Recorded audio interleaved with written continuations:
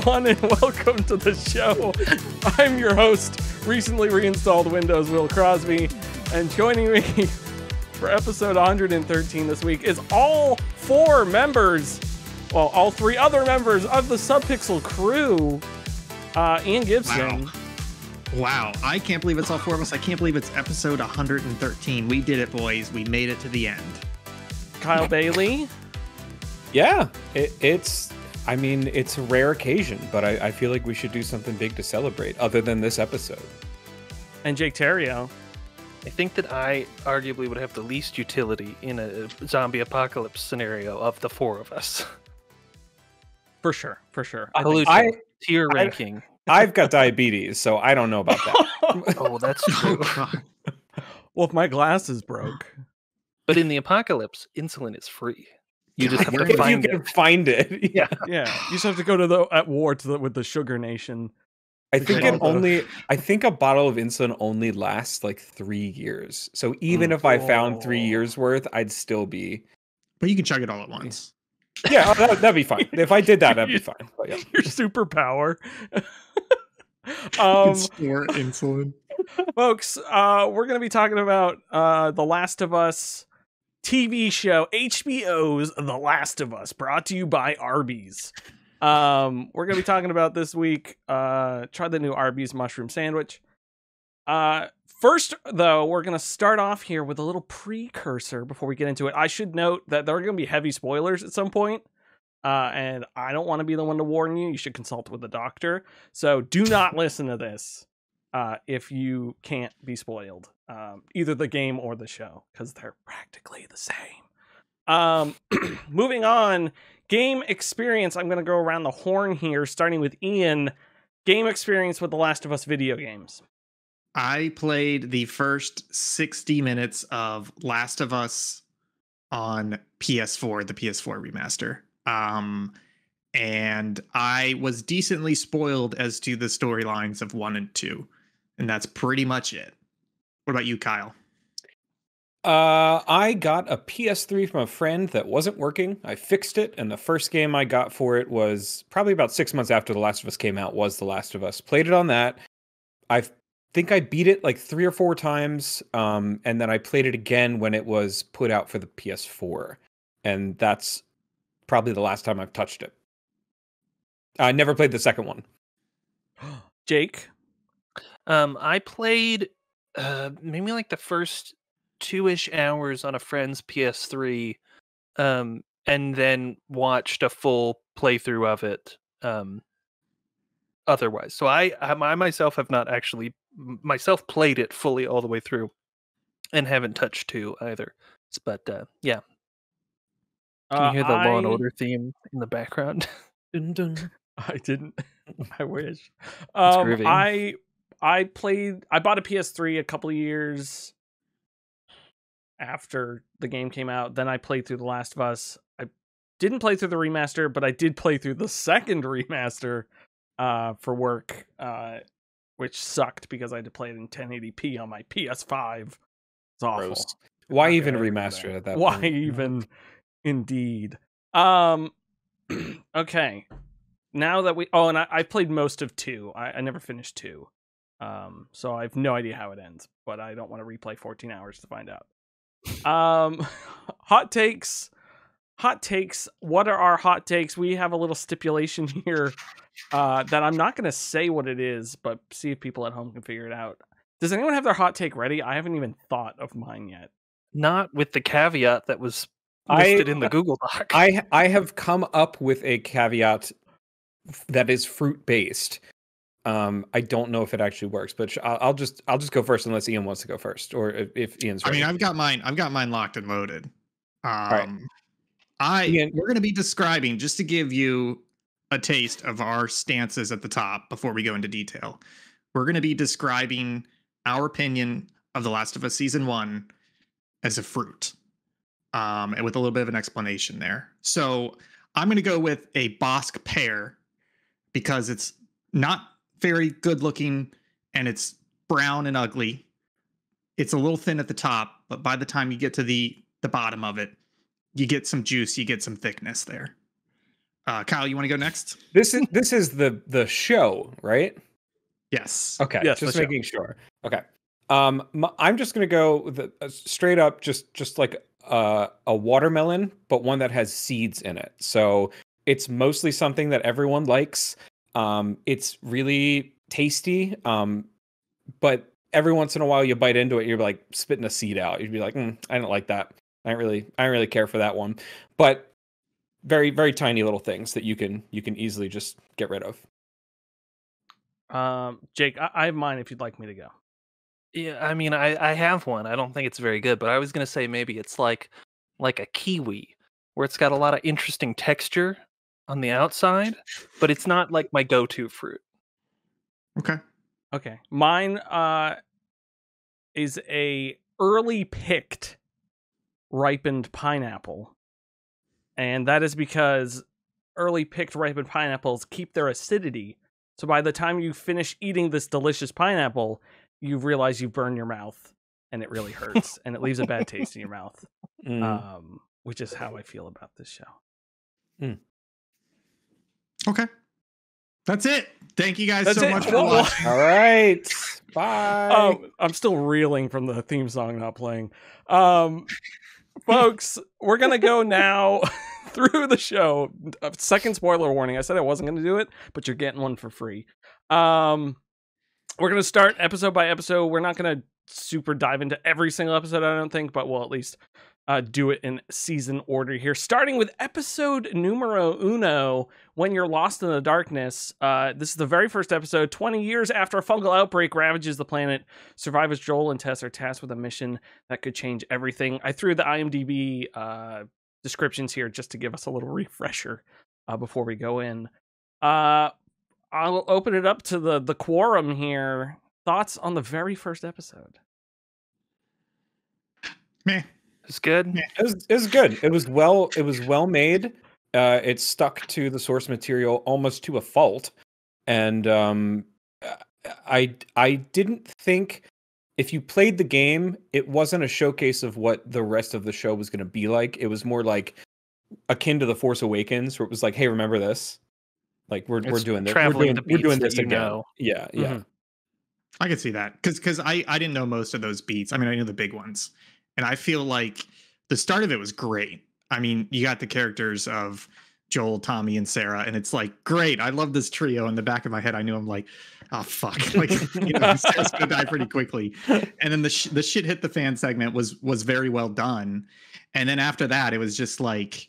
It, it the rest of the episode was just very disappointing to me because like they introduced the QZ, but they just barely tease it, and you're like, no, no, no, no, let me live in here a little bit. Like, give me an episode or two here because there's something really interesting going on. And then they keep introducing like really thin characters of like Marlene and like the security guard and the gang, but they're like super. They they feel kind of superficial, and and I'm just like, no, I'm not really feeling these characters. And then um, they just keep talking about, they keep like trying to force this MacGuffin of a truck battery. They're just like, truck battery, truck battery. But for some reason, Yeah. it wasn't landing. And I was just like, I understand it's important, but like, I'm not going to get fucking excited about a truck battery, people. so it's like, it was like a great start. And then it just kind of like hit this bottom plateau and just stayed there. And by the end of the episode, I was like, I got eight more fucking episodes of this to watch. I, I I don't know. I felt a little disheartened by the end of it. I did. think- oh, go for it, Jake. Oh, I was just gonna say, I thought the the the the teaser even before the, opening title opening. sequence of like the the like the talk show, I thought that was an.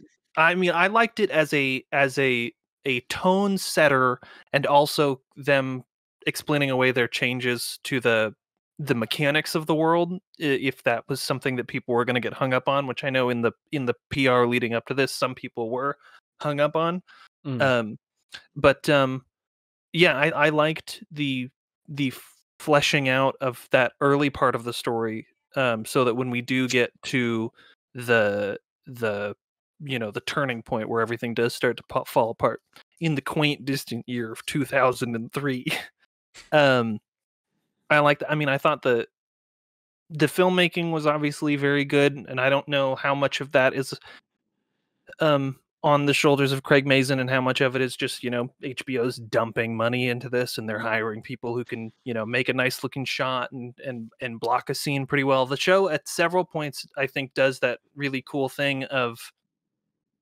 focusing on a character in the foreground.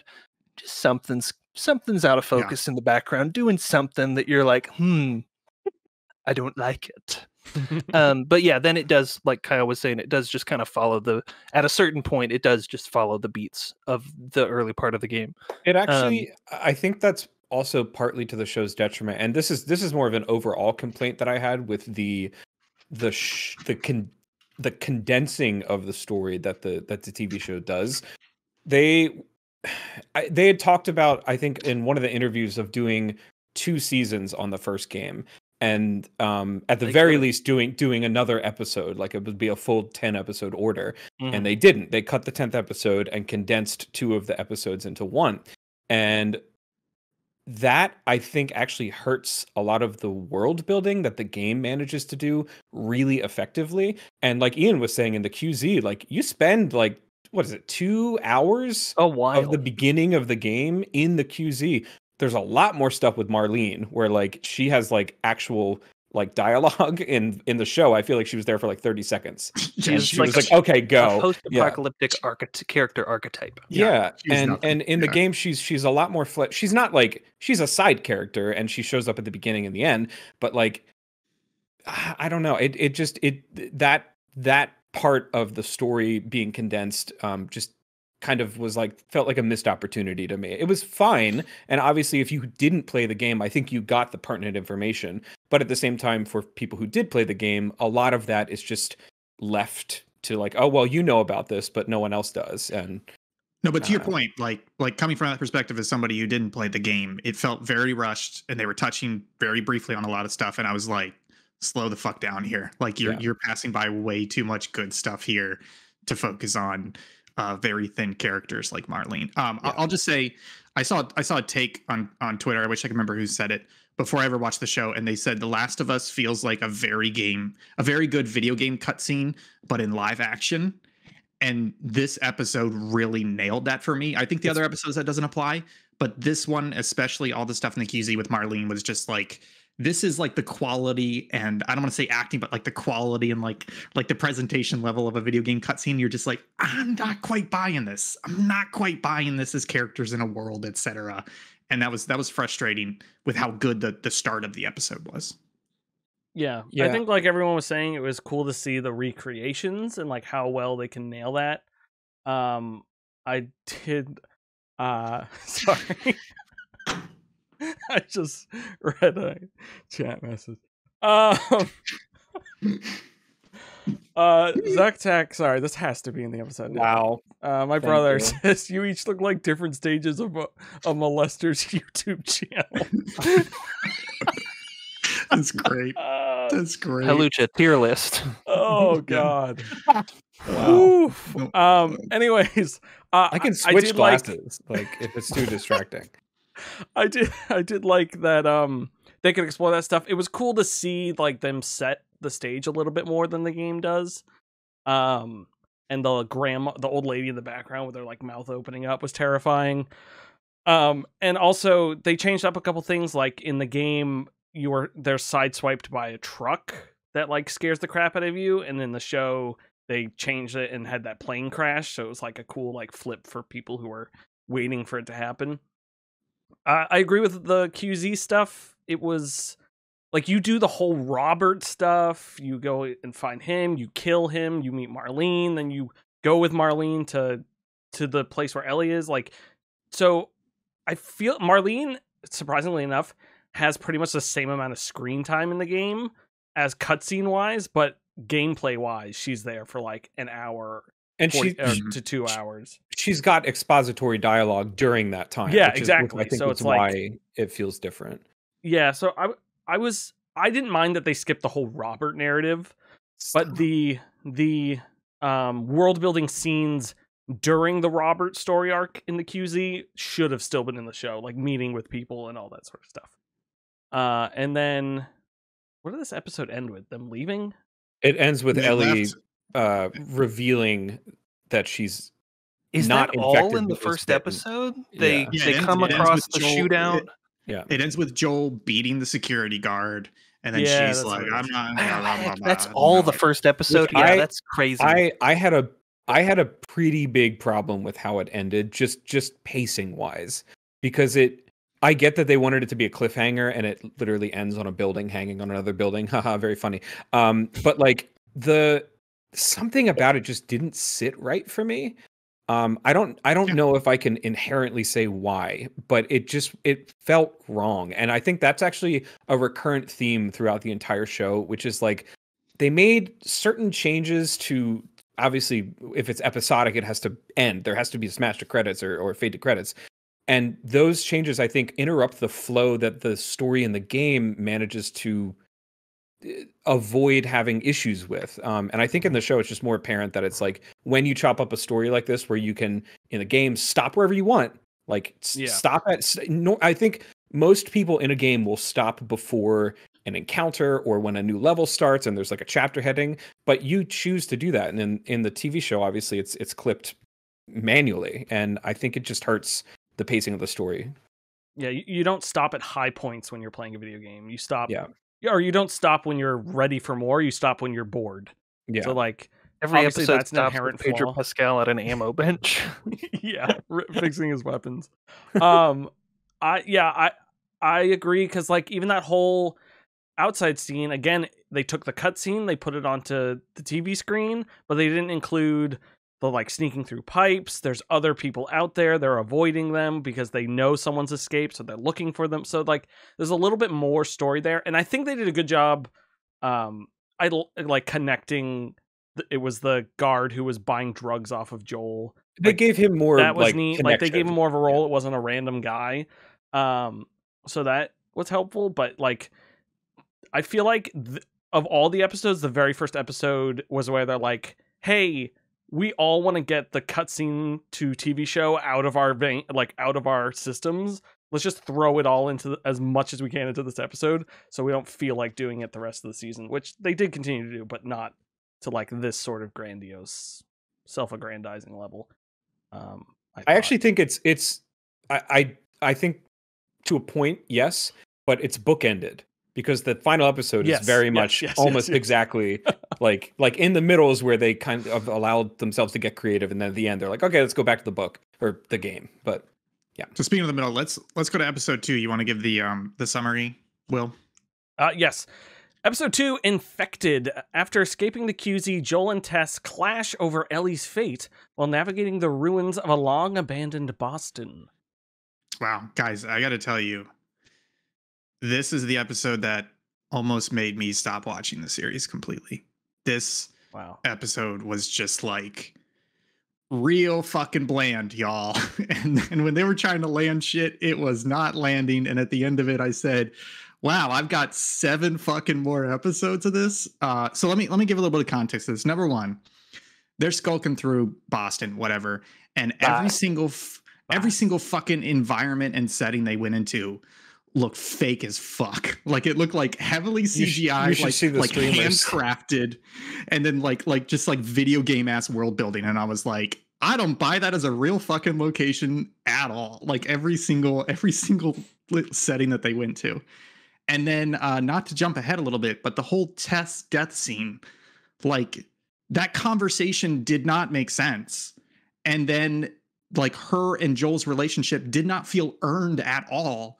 So when she died, it was just like sucks for that. Like let me let me just throw something down here and I think Kyle this kind of leads to the point you had earlier about things feeling rushed. Throughout the series, they kept trying to rush to certain plot points and it was like the characters were just spitting dialogue out to get to that conclusion as quickly as possible.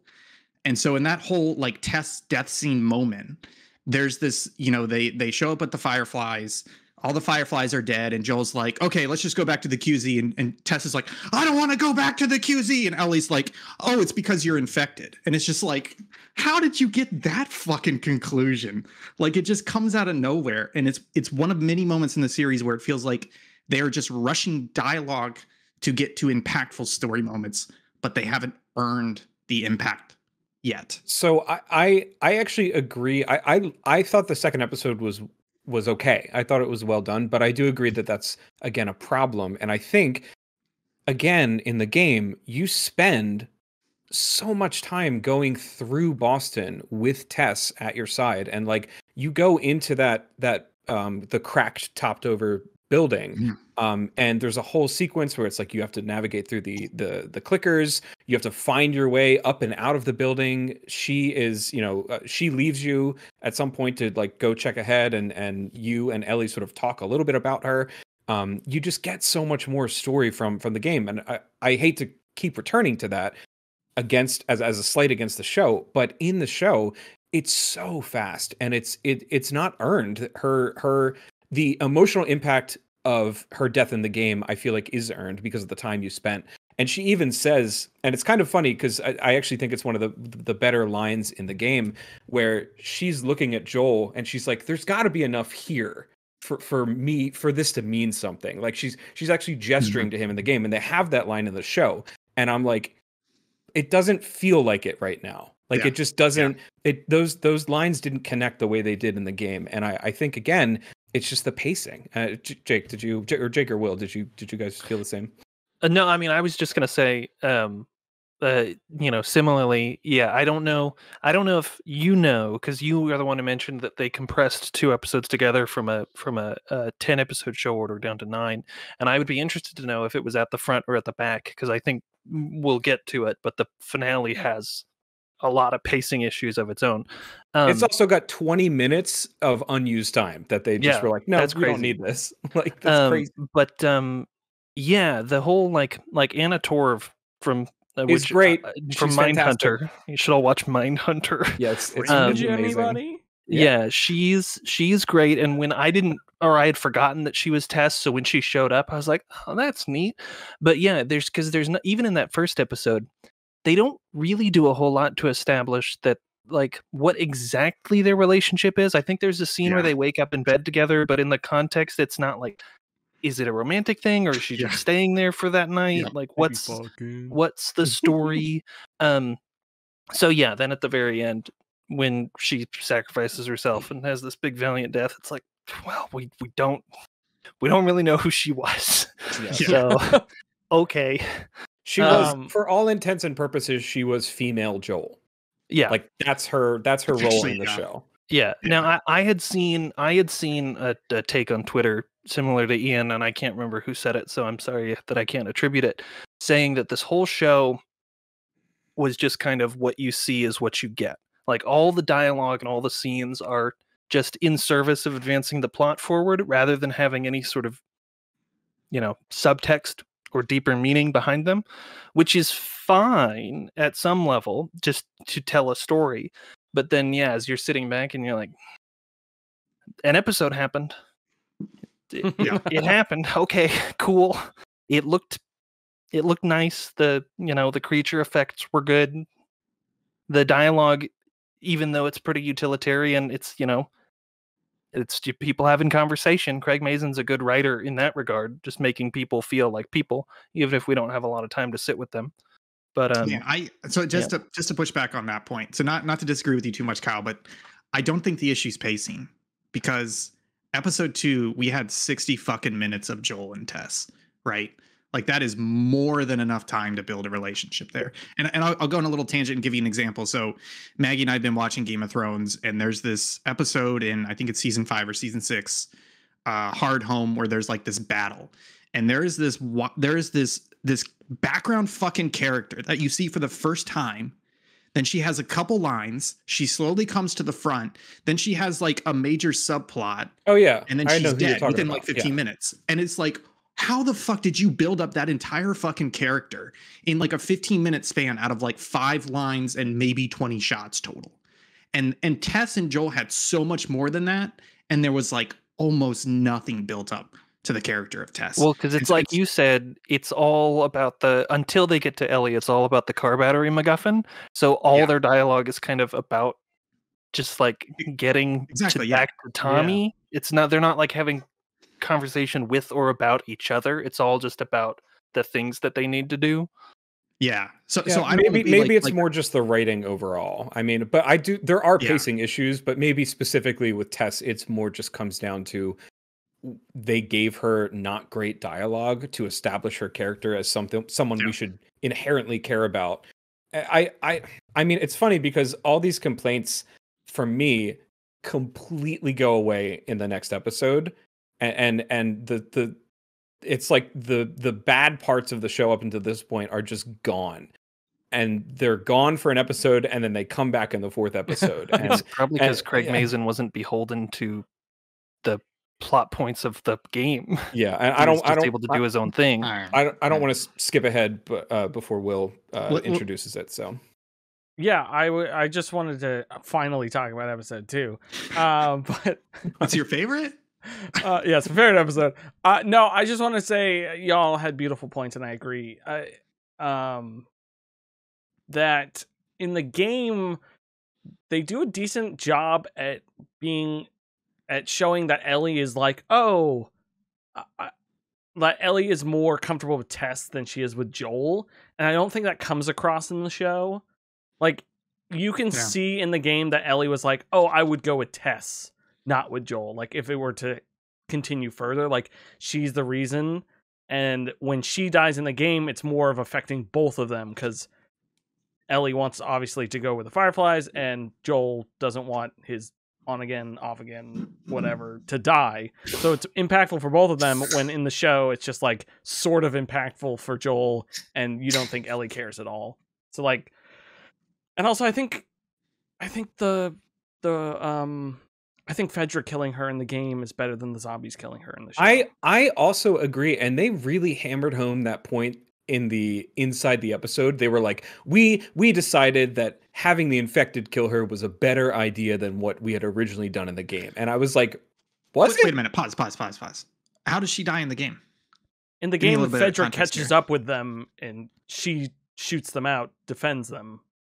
She, she is I had infected. forgotten that. She is infected, but She, she, is still infected. has Yes, a yes, yes, yes. she has a last Yeah. stand moment, and and she kills a bunch of the soldiers, um, but then is Because the, it was Fedra who killed all the fireflies, and then they were waiting for whoever was coming to meet. yeah Oh So, yeah, like, okay, it- it's coming back to me. yeah. It like made a little bit more sense that way. But also, Yeah, it's about the same. But I also no, no, I, I agree it's about the same. But I feel like they only did the infected thing so they could have someone step on the tendril and have all the infected come over. which which was which Um, was never a problem again in the entire show. ever again, like the ever. entire Yeah. show. They, they made such a big such a big point of it. It'd be like these are all connected, and, and an infected two miles away can feel someone's, and then they never did that again. Even with the arcade, it was the noise of the arcade Yeah. machine. It wasn't even the Yeah. rumbling. So like, which what is the which is actually another problem I have with the the spores, and I'll s- I'll die on this hill. I think not having the spores was a bad idea because What are the What are the spores? in the game there are sections where it, it's one of the methods of infection. You can breathe in the spores um, and it will get you infected or you can get bit. And for me I, I know we're not supposed to say zombies or the infected or whatever. Um, in the game having that as a method of viral transmission worked more more to the effect of making the infected in the game feel more unique from other types of zombies and other um, uh, entertainment uh, uh, pieces. And not having that in the show because they were like well if there were spores they wouldn't be contained to one area. And i was like you could write it so that it doesn't happen that way. You could write it so that the, the spores only last an hour or whatever before they they die in the air or something like that.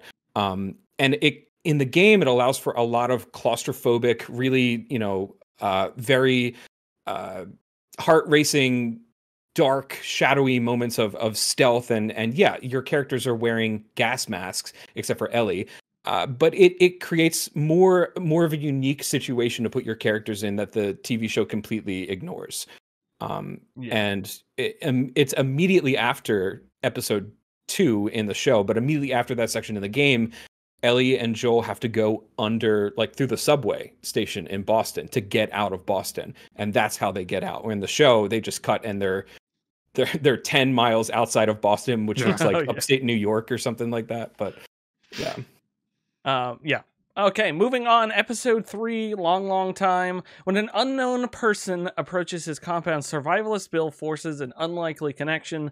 Later, Joel and Ellie seek Bill's guidance. Um, so this episode actually starts off with Joel and Ellie, which uh, And I- Miles outside the good. bar. I forgot every single time. Yeah, it's not great. They go to the, they go to Cumberland Farms. I mean, who doesn't want to go to Cumberland? Yeah, they, they, yeah. Go to Cumberland Farms, looking for the stash. She finds tampons, kills a clicker She, infected. she tortures a clicker. She's just like, Yeah, she it's honestly, I I hated that moment because it took like three or four episodes for me to gain back a like of Ellie because I'm like, who's this creepy fucking Reddit kid? Who's yeah, like, pulling wings off of tortured- flies. I'm like, what the fuck is Um, happening? especially especially because earlier I, I think it's earlier they discuss not knowing whether or not the people who are infected are still like aware of what's happening.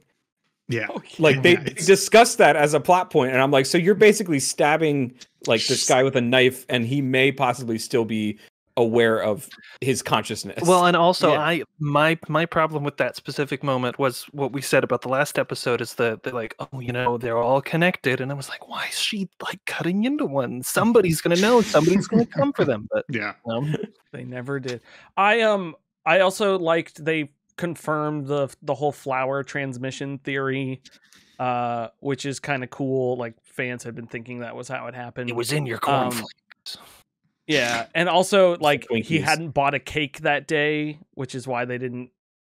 It, it- whether they would have been infected or not, that was like a long. Well, yeah, thing and they like- show the the, the other family making cookies, but Sarah Yeah. doesn't eat any of them. the unrealistic thing for me for that is like you would think that somewhere along the line of the the apocalypse happening it would take them like a year to figure that out like people would still be eating stuff off of shelves and and you know going Yeah. to grocery store and like even more people get infected which i'm sure would happen but it's just like i don't know like i like Yeah, that i like that as a method of transmission it's very cool and i I really like what they did in was it um indonesia uh where they where they Oh cut to, yeah, where they the beginning that, of episode yeah. two. that part was great like i loved that part I don't, I don't yeah. know. There was something about that in the first episode one where it just felt a little bit fake. Like I couldn't I couldn't buy it as like I'm watching something real again. It felt a bit too handcrafted.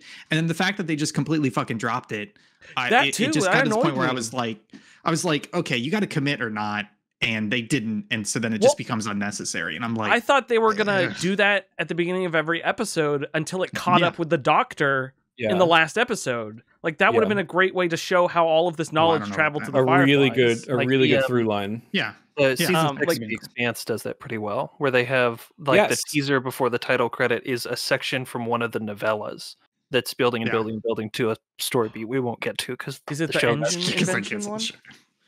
Huh? No, Is it the engine invention? That one- no that that's No, not that short story is early great. season. No, it's it's all the it's the That's weird, folks, though. the the separatists who are sorry, we're talking about the expanse now. Oh, okay. Okay. on, This yeah, is one now of about the planets with No, the, no with more the talking. proto-molecule ship up in orbit. And it's Yeah. the the girl who finds like the dead bird, and then she the things bring it back to life, and then her it's like brother the blue the blue tendril Yeah. thing right Yeah. right I yeah. need The to, proto-molecule. I, need to finish those books and then watch the show. i need to finish Um, the first season anyways uh long long time. Episode three uh call it an episode because boy howdy it is. Um this is the first huge deviation from the game uh starring good old bill who is in the game but not any of the bill sections from the game. Um It's the first good episode. Ho- Holy shit, was- they made a it good was episode. so good. It was really good. It was a good episode. I i cried during it um a lot um i really yeah, wanted but It wasn't all sad. why, why, why were you crying the whole time? No, at the end I cried. Well, I was first crying because I couldn't believe they were shoving more gay people into my my media. But You're crying for America. Okay. Got really annoying yeah. crying for my favorite part about that is if anyone complained, he's gay in the game too. Yeah. So like I was like, at least they can't complain about that. Uh, no, I thought it was a beautiful, lovely episode showing instead of showing the side of Bill in the game where he's cra- a little bit crazy, locking down his huge town, setting up traps everywhere, angry at everyone. It showed the kind-hearted side of him, uh, saving Murray. Murray is that his name? Frank. frank Frank Murray is the actor. Uh, yes Murray something. from Uh, from uh, White Lotus. Hey, White. Lotus, yes. Uh, Frank, saving Frank, their life together, showing Joel and Tess coming over because I mean that's the same from the game. Uh, all that sort of stuff and building up to a, an end that was incredible, I think, and also completely threw anyone who knew the game out the window like because you just didn't know what like uh, the first two episodes you kind of knew what was happening and then this episode you're like what i don't know what's gonna happen uh and i It- just ah, thought it was so good It honestly made me wish, and this is maybe this was like a one-off thought that I had that wouldn't actually work, but it made me wish this was more like an anthology series where like every Mhm. I have- episode was just like Same. little, little story here, little story Yeah. here, little story here, and I was like, this is such a great world to set things in because you can have those idyllic. It's a love story. The the third episode is a love story. It's it's a meet cute, um, by way of in a pit. trap, yeah, by way of zombie trap, or, yeah, meet cute apoc, yeah. It's go, his we'll all go on. excitement Uh, when he realizes the world has ended and he can go to like a home depot Oh my all gosh! this- Every, well, and so he has he has the he has the "Don't Tread on Me" flag in like his basement, and I was Yeah. like, I live next door to this person. Um, Yeah. and uh, I, um, yeah, So, was- so to your point about the anthology series, I, I, I I literally wrote that down. Like, I, I think it could work really well as an anthology. I don't think it should be an anthology, and I think what what we're both really trying to say is like there are characters in this show and stories that are incredibly well told, but they are only in the single packaged episodes. Like when they are trying to tell Joel and Ellie and other characters across multiple episodes, like more than two or three episodes, it doesn't really fucking work. And it's like it's it's weird. They are capable of telling great characters and great stories, but only on a micro scale. On a macro scale, it just doesn't really work. And that's that's the frustrating part. And credit credit where credit's due. I mean, Craig Mazin is I think he's really showing his his writing chops with episode 3 and he he took Yeah. a morsel of something that Neil Druckmann had come up with and was like hold up. Like there's more to what you wrote here than what you actually wrote. Let's expand on this. And um yeah, I I mean it's just a great it's a great piece of entertainment and it stands on its own um, I think high above a lot of the other episodes in in the show, and it, it's everyone's already sung its praises. I've sung its praises on Twitter. I think it's really well shot. It's very sweet. There's a lot of really good Yep. through points in in that episode alone with um, the music, with the character growth that's shown, and honestly, they do a really good job of showing time progression. Uh, very very simply, it's it's honestly what they do in that episode is not that complicated. It's just done really well. Uh, and it's just great to see it obviously focusing on gay characters and specifically older gay characters who don't fall into the kill your gays trope. They do die, but it's of their own volition at the end. Spoilers. Uh, and and they they've both lived a good full life in the middle of this infected apocalypse, and it's a beautiful beautiful episode. Yeah. Um, I also really liked. Um, oh, I completely lost the thought. Never mind. I don't like it Linda- anymore. Linda It's a terrible Ronstadt. episode. It's out of here. Yeah, so how- yeah, um, kids listening to Linda Ronstadt now. Um, Yeah, I literally. no, I, I think it. you know, echoing everything that's already been said, and that this was kind of like one. uh, One of I think the best things about The Last of Us, or it would like I, maybe it was Neil Druckmann who came up with it or not, but just the name The Last of Us is such an evocative title um, that this was the first episode where it's kind of like, okay, we're we're we're cashing that check here's here's us. here's yeah here's the last of us let's tell a story about you know people at the end and it is you Mhm. know it's this very compelling little you know not uh, would you call it a bottle episode it kind it's of like is a yeah, it's it's about it's Yeah. a vignette if you want to call it something Um, else, but yeah. But yeah just this you know this heartfelt you know it's two people at the end of the world and that's you know how what what do they what do they do how do they how do they get through that together Um, what I was gonna say is this is the episode uh before the show aired at work that everyone's like, "Do you see? Did you get a chance to watch episode three yet?" like- isn't it dis- isn't it disgusting? Like how could they Yeah, can you believe they did that? We're gonna write something against this. Yeah, Um, GameStop yeah, is my boss, Ben very Shapiro, yeah. Um, Oh, that's GameStop. what you work for now. Okay, yeah, yeah. yeah, yeah, I changed jobs. No, uh, but at work, like everyone was like, "Oh, like you watch, you gotta go watch this." Like it's the blah blah. blah. Because at that point, I think pre like press only had access to the first three, so it was Yeah. just like it, it hit hit so well there. Um, and then I think the ending with the window shot was great. Great callback to the the main main Main uh, menu. Yeah. main menu Yeah. of the game. Uh, they, I believe they said they were going to do that for every single episode. Like originally, when they were planning it out, like wouldn't it be cool to do this? Uh, and they scrapped it because I don't. They're not smart enough. Yeah, Yeah. they're smart enough to scrap that, but they kept it with this because it it made thematic sense. And I love that they left the window open for the smell and like to decompose and Yeah. everything. It's just Yeah. so funny. It's just like so thoughtful. Like I should probably prop the window open if we're gonna kill ourselves. Don't want to ruin the drapes. Um. Okay. Episode three done. Episode four. Please hold to my hand. Uh. After Is that abandoning the Right? Did you type that in wrong? I checked on IMDb and Wikipedia. That is the name of the episode. No, Please that hold can't- to that my can't hand. Be right. I don't Isn't it- know if it's it's like a Hold oh, on to my hand. I can't remember. Check the HBO Anyways, app. Yeah, go on. Like, what is it? Yeah. maybe. Oh, I could check HBO. After abandoning their truck in Kansas City, Joel and Ellie attempt to escape without drawing the attention of a vindictive rebel leader. Man, this episode Mon is. Mothma. This was a This episode- I did not This- like this episode. it- this this is kind of a mixed bag for me. It felt like it had a lot of potential, and I was clinging to that potential, but the execution was not that great. And and what I mean by that was, um, I think the gunfight, the the ambush, etc., was really well shot and well done Yes. and intense. I think I think they keep teasing some fantastic political like ethical moral drama between Fedra, the Fireflies, the people, abuses of power, uh, rebellions, etc. They just don't flush that out at all, which is so really a shame.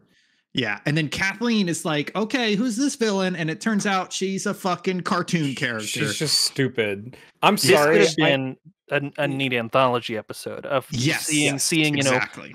neighbors ratting out their neighbors to Yes. the feds, and then leading to the revolution, and then all the you know Yeah. whatever follows that. But yeah, this was a this was a snoozer. I think it's it's funny because the I think unintentionally, obviously, they went into this episode with hopes of getting people uh, not necessarily attached to the antagonist of this episode or, and the next two this episode and the next episode, but you come in as Joel and Ellie and you leave as Joel and Ellie who are like I don't care who these fucking people are.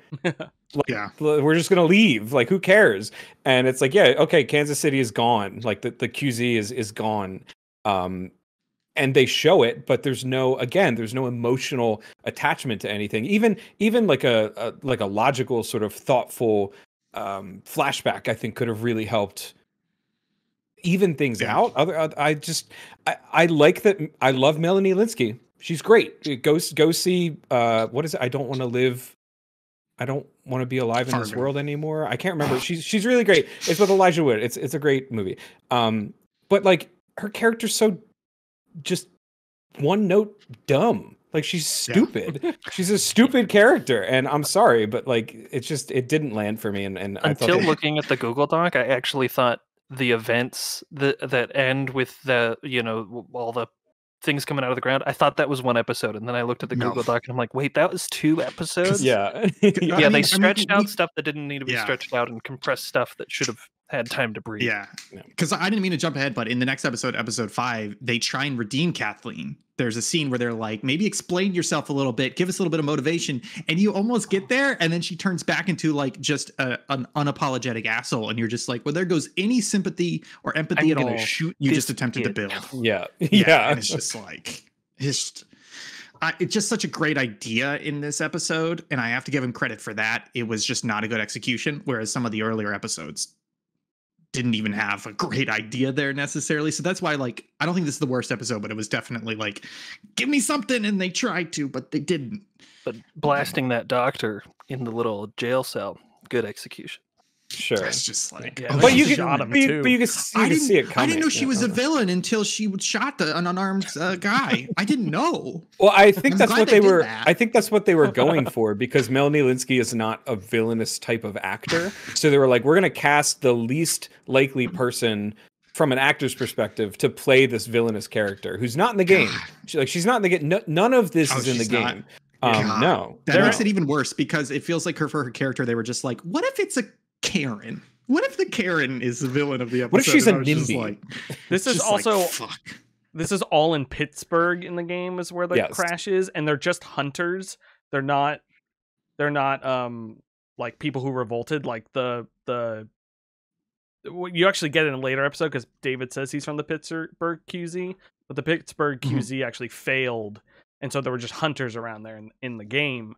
And then in this one, it's like the, the rebellion had just happened, so also these guys are Just trap- cooler. Like that's Cool- the other thing that didn't make sense to me is because why would this trap system be there if it hadn't been taken over by crazy people? You know, like they didn't have enough time to set all that up.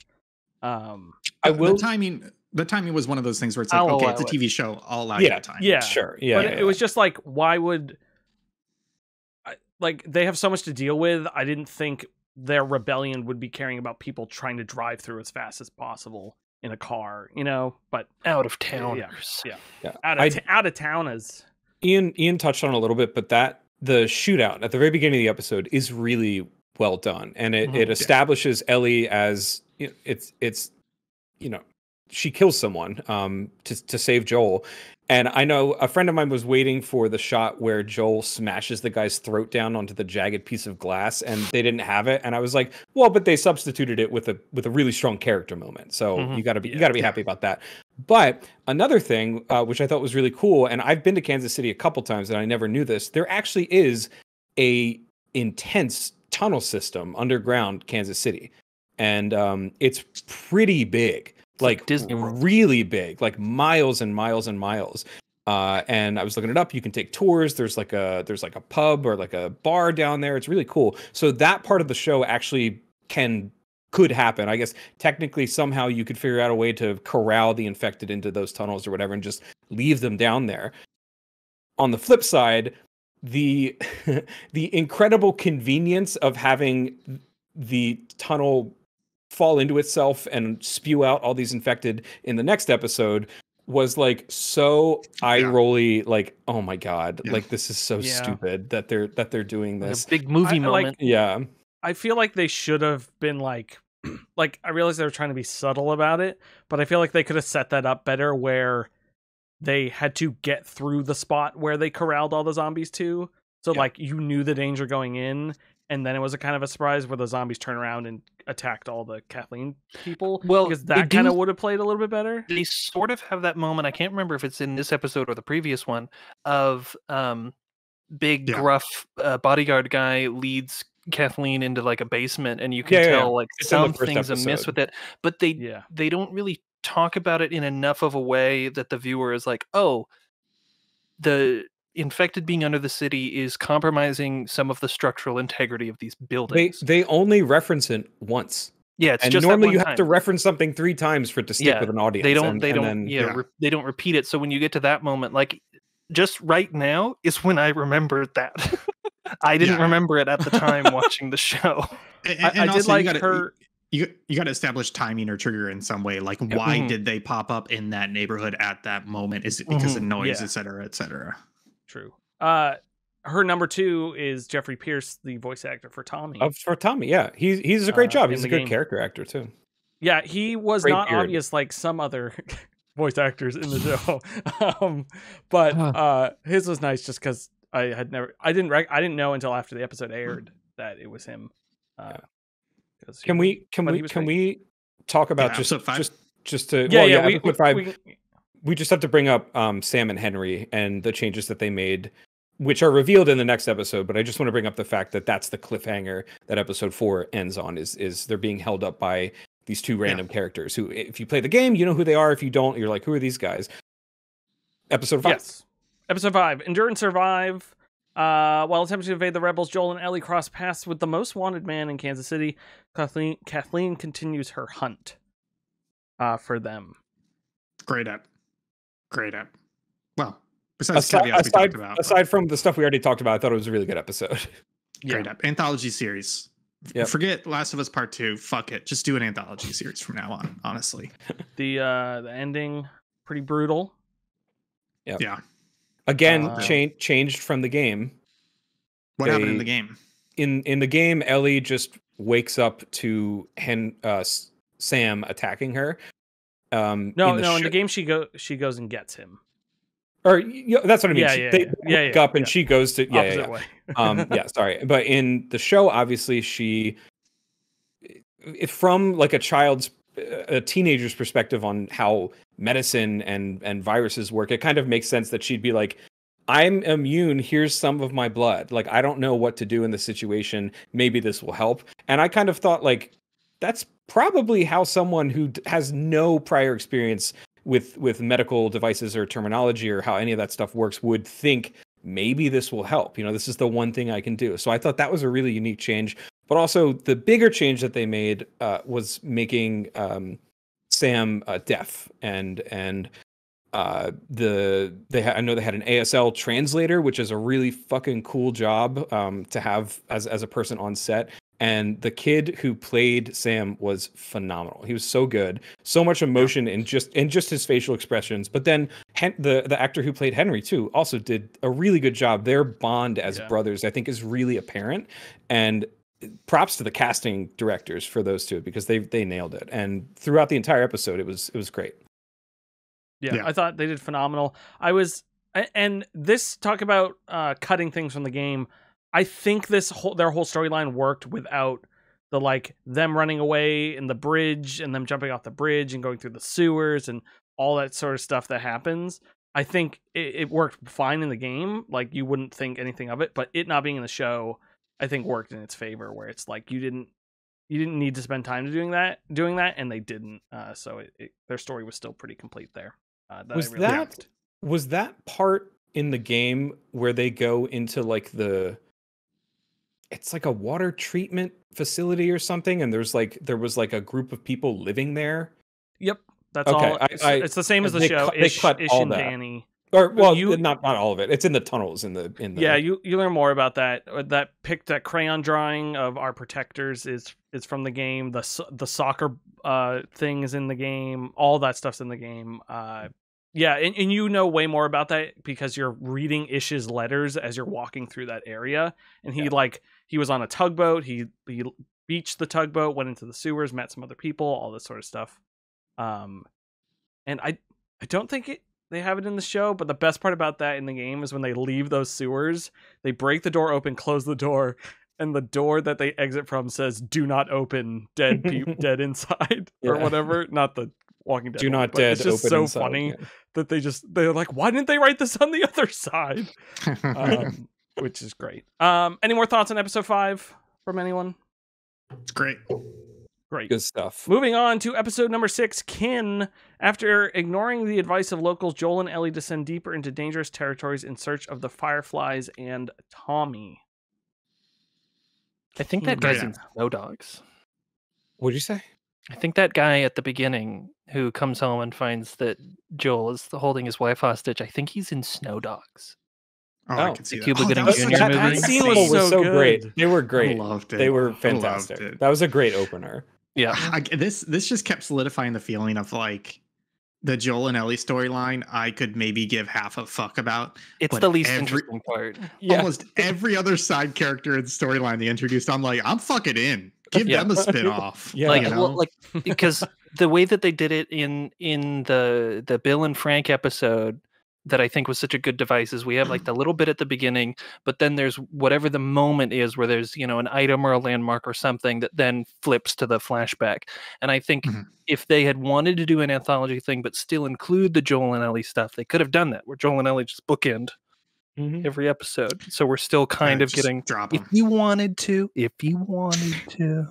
It's just funny because not not to go down this tangent too much, but a lot of people were complaining where they're just like any fucking episode that doesn't have Joel and Ellie for the majority of it is a filler episode. And I'm like, those are the only good fucking episodes because the Joel and Ellie story is not working out. Because if Ellie, if there wasn't the apocalypse, Ellie would be one of those kids who's like shouting Reddit memes in the middle of a shopping mall, and Joel's just a weird fucking person who can't handle grief, and it's just like it's not a good story. And it's just like Shapiro on the show yeah. because Uh, that, but was, anyways, that was his point. yeah. But anyways, um, episode six, I I think this was a really nice palate cleanser because I was struggling with this show because even when I was enjoying it, it's still very, very dark and depressing. Um, and so it was nice to see what success and survival looks like post pandemic. Uh, lots of cool like new characters and a cool new setting introduced.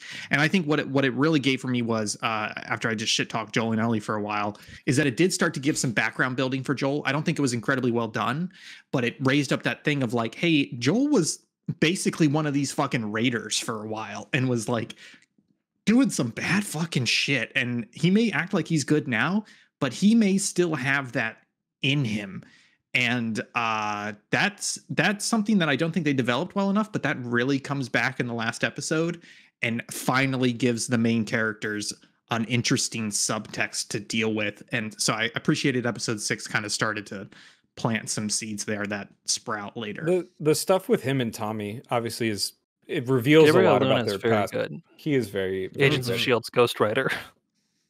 Oh, someone watched that show? Oh, that's crazy. Oh, Check that's the a sh- wiki. wait that's i'm sorry i heard that as as like the ghost writer of agent of shield Oh, Ghost I was- Writer. Writer. I was- as like how, Made a wait, he was deal with writer? the devil to get himself into He the was writer's writing the sh- room. he was writing the show and they weren't giving him credit what Uh, anyways i'm sorry kyle go, go yeah, ahead no, no, no. The the stuff the stuff with Joel and Tommy, I think, is very good because it reveals a lot of stuff. But then also the parallels to that is the stuff with Ellie and Tommy's wife, where they're kind of talking and and it there there's the the duality of those scenes. I think go hand in hand really well, and you learn about um some of some of Tommy's past uh, a little bit, which I I wish there was more Tommy because he is a really Mhm. interesting character, and I thought the same thing in the game where I was like, I just I I kind of wish one of the deals if they had had more than one DLC that it was like a a brother like team up kind of DLC thing. I thought that would have been really cool.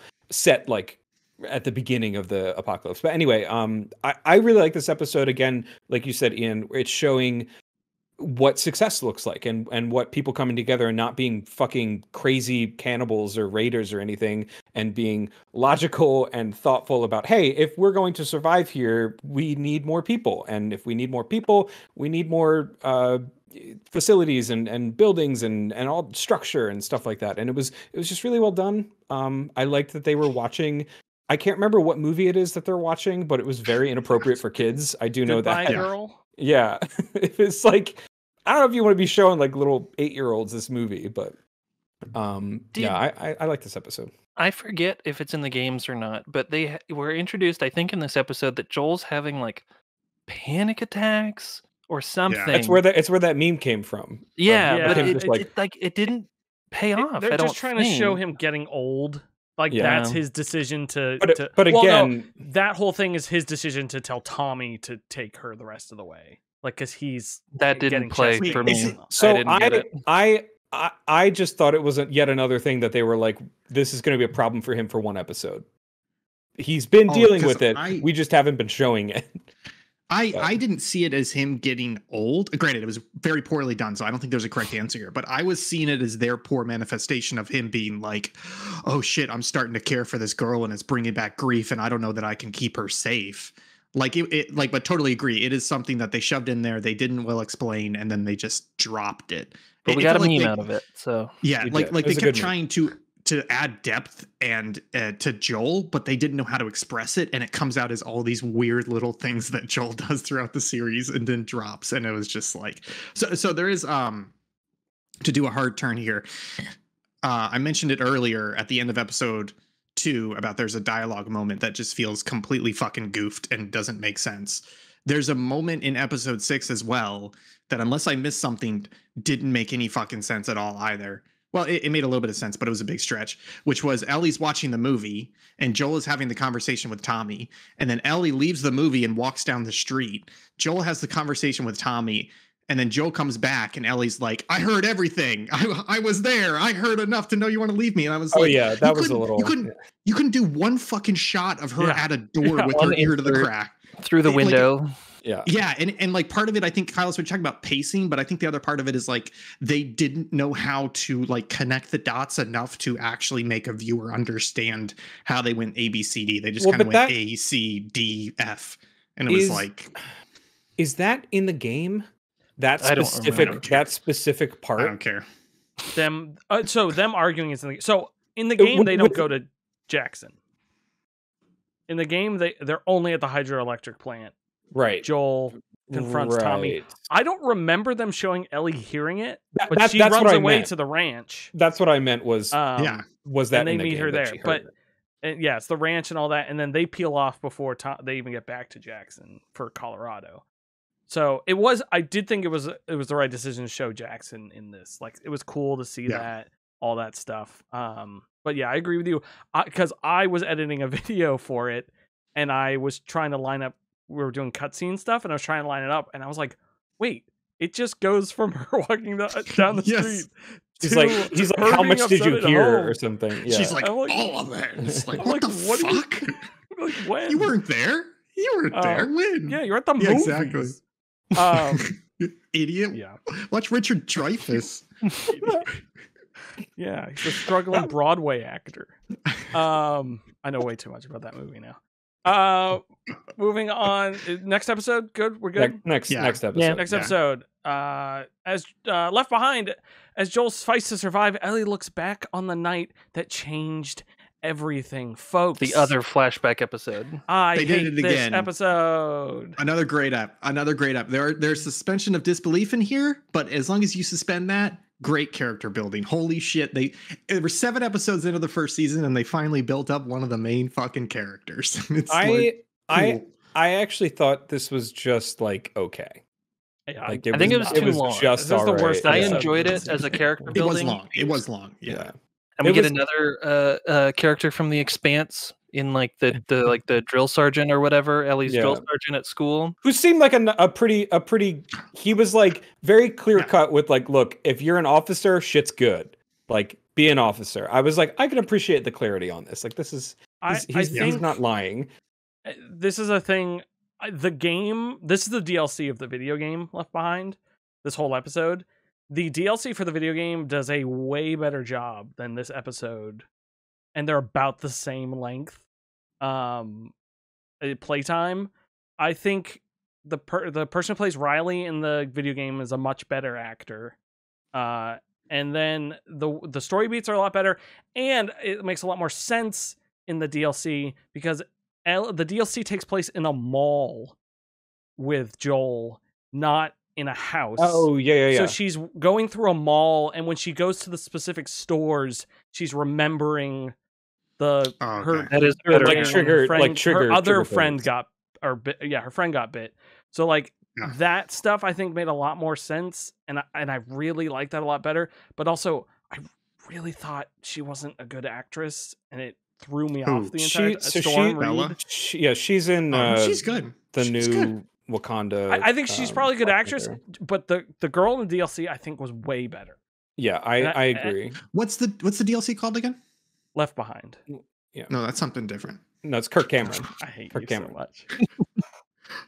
Uh, Kirk Uh, Cameron's Left I- Behind DLC.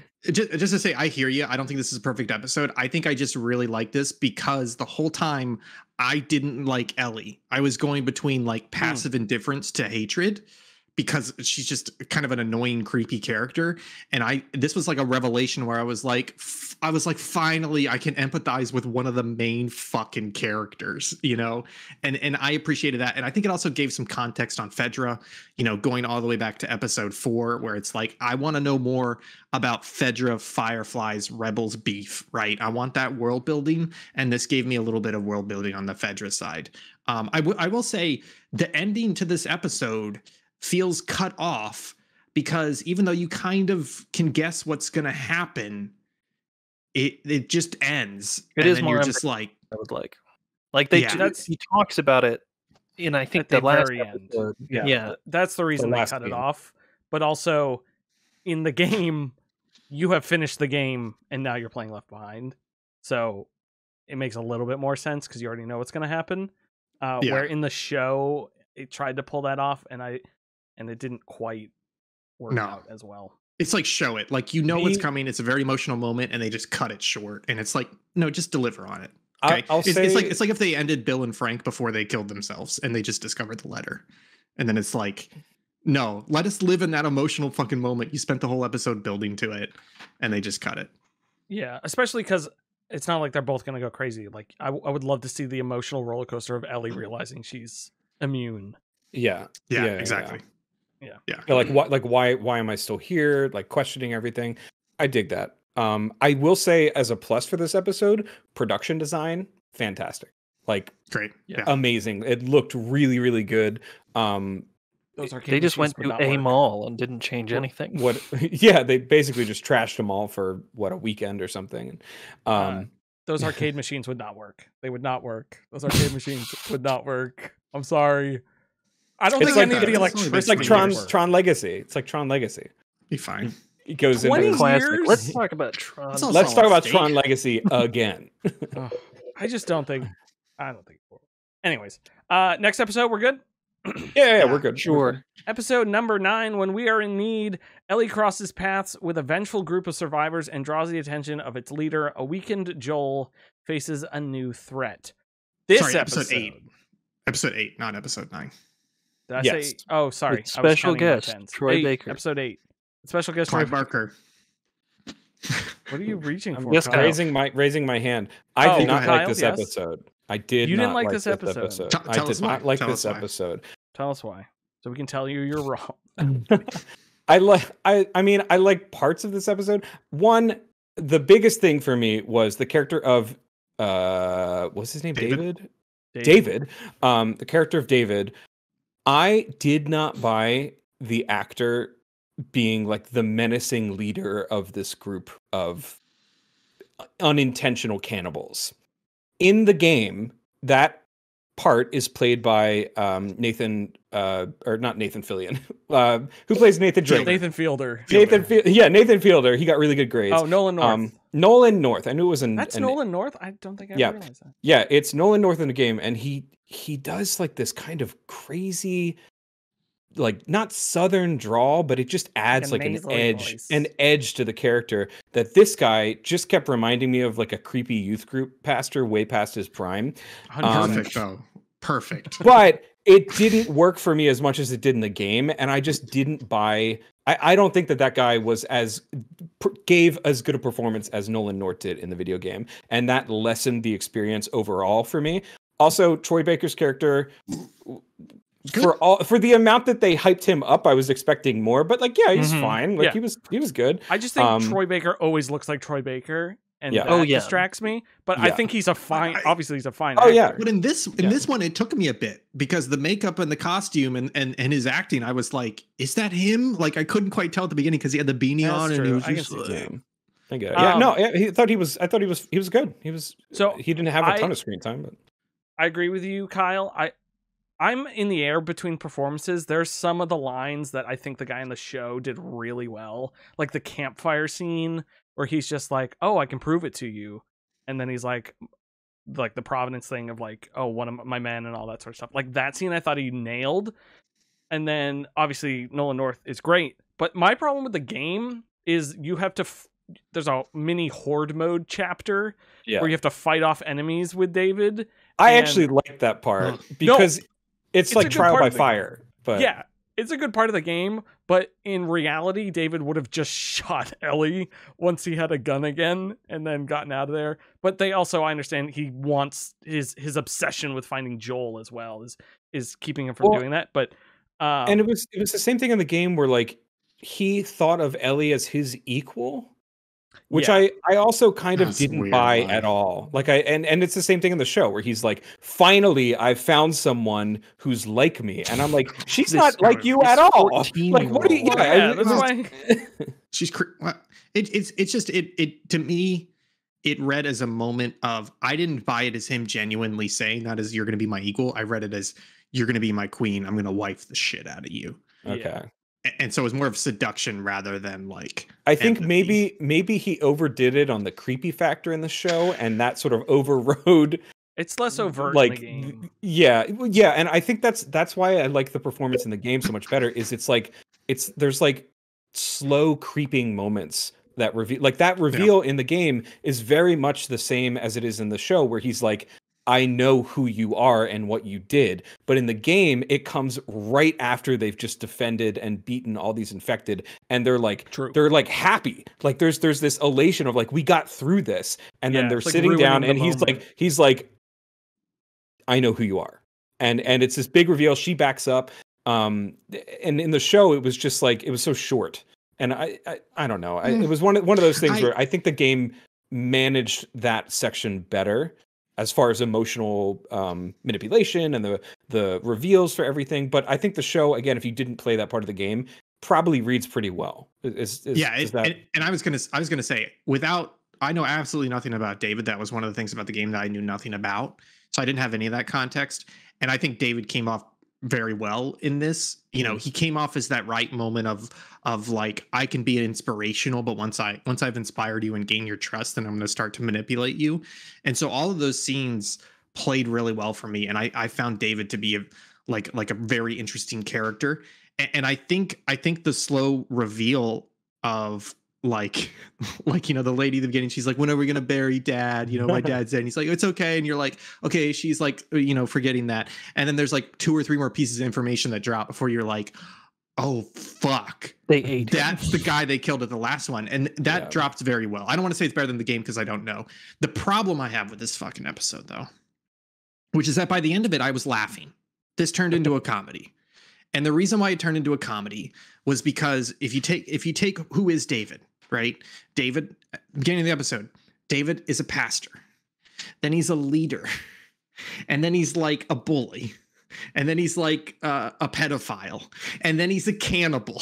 And then he's a rapist. Like they just keep being like you don't hate this guy yet? Well now he's gonna fucking rape her. And it's just like why are you building up this character so much? Like it literally just being like take off the mask. You don't hate me yet. Here's another awful character of me. And it and i started laughing. I literally just started laughing. It felt like episode one scene one of chernobyl when the reactor blows up and you're supposed to be very serious and tense, but you can't stop fucking laughing at this office comedy because there's a inept crazy boss yelling at his underlings. And it's just like, and he's throwing manuals at him and being like, just push the fucking lever. And it's, it felt like the same thing where it was so over the top, it was accidentally comedic. And it was just very funny to me because that's the same fucking problem I had with Chernobyl. And I was I'll- like, you did I'll it just again. say I I didn't have that problem with Chernobyl at all. Nor I did I. Chernobyl is like perfect. so it's it's funny. It's but it, it is. It does have. I, I would Christ. say that it has is. It's darkly comedic. It's not. yes, like, yeah, Yeah, there are yeah, yeah, elements yeah. of dark comedy. In I would but- say unintentionally though. There are parts of it where it's funny that it is not intending to be. And and that's the thing with David was they just kept they kept being like, "Oh, it's not bad enough that he's a bully. It's not bad enough that he's eating more food than everybody else and and mistreating them." It's like, "No, we need to start piling on We- this other bad stuff on top of them." Can we talk about like- the noise of people scraping their bowls in Oh, that scene? Was like I have surround sound, and I was like, "Am I at a summer camp right now?" Like it was It was very great. weird. It was great. They um, I I think they did a really good job, like showing, uh, or sorry, a better job in the game of building him up the way you're saying in the show that they quickly revealed the masks. So like, I think I flipped back on your side, Kyle, with the game being better because like it's just one guy who's lo- uh, I think when he's locking Ellie up says, "Oh, it's David's latest pet." Yeah, like yeah, it's yeah, yeah. subtle like that. It's not like, oh, it's David's latest kid because he's a kitty toucher and he loves Diddler, kids and yeah. you're gonna be his new queen. Like it's not like as open as as the show, but it, It's- like it's- made it a little bit more like.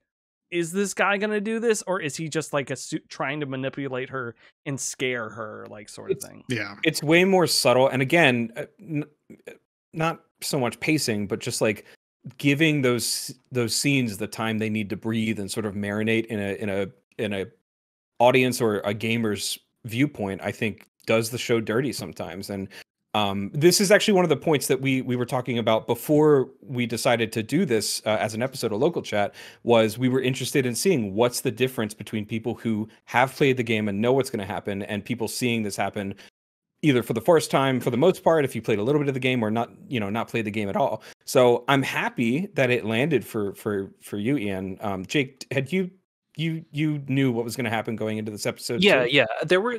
There's like the middle chunk of The Last of Us that's like a blank void in my brain. Um, but the the beginning and the end were parts that are, are pretty solid in there. And so yeah, I remembered mm, like when David appeared on screen, I'm like, that's the weird cannibal guy. Uh, but uh, I was mostly ambivalent towards this episode, as I was to most of the episodes. I think this was this was a very middle of the road show for me, uh, on the whole. But um, Yeah. Yeah. So I I had no extreme feelings one way or the other about this episode. Yeah, I um my my dad, I got him to watch the first two episodes and he liked it, and I was worried that if I don't actually know if he watched the third episode or not, so I kind of wanted to ask him if he watched the rest of the show, and I'm I'm anticipating hearing him say I stopped after the third episode because of the gays, um, but uh, I I really would like to to hear more perspectives on people who hadn't played the game and and what they thought of this episode. So Yeah. Mm. Well, Uh, most people have bad taste, so they probably loved it. So Moving on to the final episode. Look for the light. Uh, a pregnant Anna places her trust in a lifelong friend. Later, Joel and Ellie near the end of their journey. Special guest star Um, Ashley Johnson. Ashley, Ashley Johnson, up front. from the Legend Given of Vox birth? Machina. That was fucking pointless because it's it's retconning a lot of eh, I don't want to say retconning, but like up to this point you're just like Ellie got bit. For some reason she didn't get It- infected. It's That's it's interesting. it's the Blade. It's Blade. Yeah. and now you're like, I didn't need an explanation for this. Where's and Wesley also, Snipes? Why did you bring back the the the the two dimensional uh, Marlene character? Like, you know, it's like okay, whatever. I think to remind you that she's there so that She's she doesn't pop Yeah, up at the end of the show. She Fade still away surprised me like at the end of the show. McFly. I thought she died in the first episode. She was gut shot and she had like one person with her, and she's like, I don't know how to get out of here. And I, I just assumed she was dead. She's always got people dying for her. I I do think they kind of did Marlene a disservice by cutting her so much in the beginning because she's a significant part of the the last episode as far as Yeah. what what happens with Joel and Ellie and what she sort of is the the checkpoint for.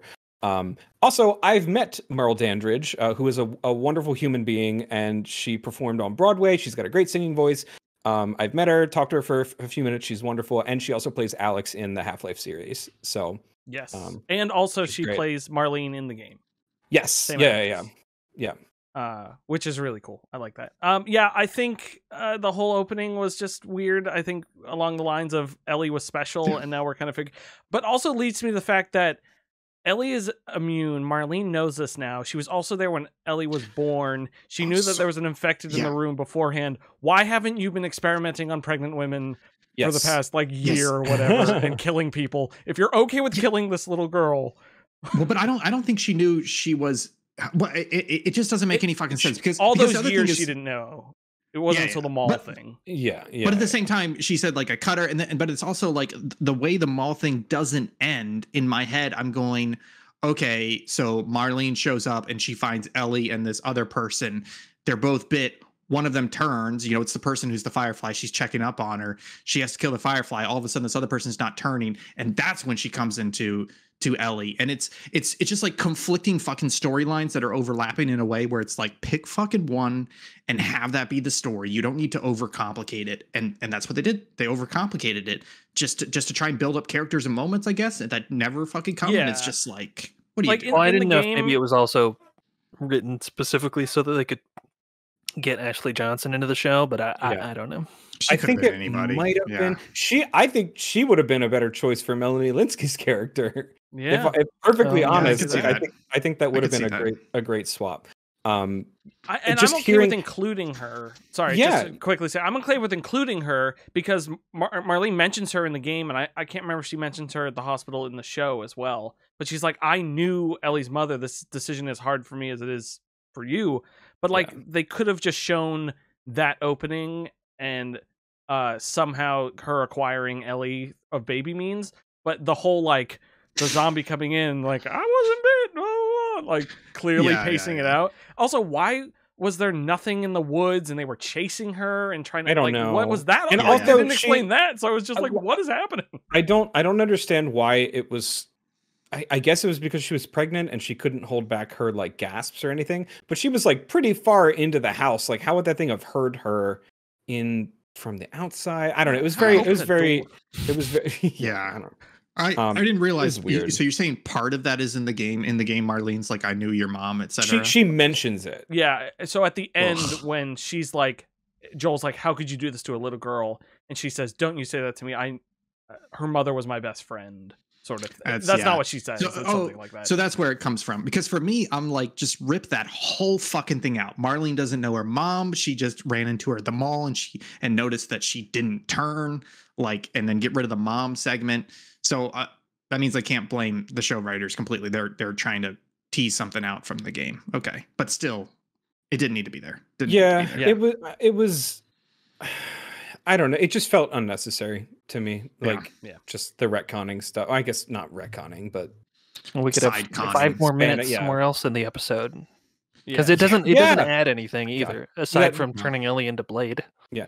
Well, and and it cuts from that scene to Ellie sitting in the back of a truck, and I'm like, she doesn't know any of this. Like, Yeah, like, it did have an cuts- implication, especially at the the early parts where she's kind of like distant with Joel, and it's it's like the filmmake, the language of the filmmaking is implying that something's on her mind, something's weighing on her, and yeah, I too was like, she is she thinking about Well, Yeah. her in mom in- who she in the- never knew. in the game, it literally smash cuts from she's hacking away at David to Joel wrapping his arms around her and like get, she's still going and he's like pulling Yeah, her back and then he he says like oh baby girl and then it just smash cuts to Seattle or uh, Salt Lake City Yeah. And then she's quiet and you notice it and you're like oh she's still thinking about shit that Mhm. in my That's life cleaner- just happened like two Cleaner seconds ago yeah but in the Oh, in the show the, is the that is that why she's quiet in the show? Because they never Yeah. really explained it in the show. I thought she was quiet a little bit, a Yeah. little bit because of that. But I thought because she was like,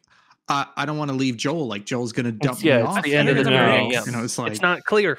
yeah but also in the, in the game he's like it, that section in the game is great because you have this little open world area not really but you're just that section of highway and you're going through the cars and rvs and picking stuff out and you're like oh ellie here's a guitar. There's like ellie are you listening to me? Where in the Yeah. show they were like ellie here's a guitar. Ellie are you listening to me? Like it compounded it so quickly where yeah, he's in creepy. the game she's distant over a couple different things and then he's like hey what's wrong where in the in the show it's just one thing and he's just like are you okay blah, blah, blah. it's like oh. yeah, he turns in, he turns into a helicopter parent, which honestly a little bit I yeah. I am okay within the show because the way That makes sense. This, the way it, it changes throughout the episode and goes at the end, I'm like, hey, maybe Joel's a bad person again because of how this thing goes, and maybe we should maybe we should uh talk about that. Um, I don't really Shout know where to, the giraffe start. scene. Yeah. who fucking cares about the giraffe? a real giraffe. Um, let me Well, put it this way: It was a real Well, giraffe for the close-ups Close because I've yeah. seen the I've seen the screeners Yeah. and it's What's- not all real. what's different between the game what's different between the hospital scenes in the game and the the show let me let me kick it off that way Um, there's no, if I remember correctly, I could be misremembering this completely. There's no music in the hospital show or in, I the, don't ho- in, remember. in in the hospital part. There might be, it might be subtle, but it's it's so. long. Like you have to fight your way through the hospital. There's a, t- it's the hardest part of the Yeah. game, in my opinion, because there's just like wave after not. It feels like there's just an endless sort of stream of guys coming, and you're just slowly making your way towards the the surgical center. And in the show, they made a really I'll I'll call it interesting. I don't I didn't like it, but it was an interesting choice to just sort of go into Joel's head and you get that sort of rage mode, single-minded, like no emotion. We're just I'm I'm Yeah. working my way cutting cutting down these people.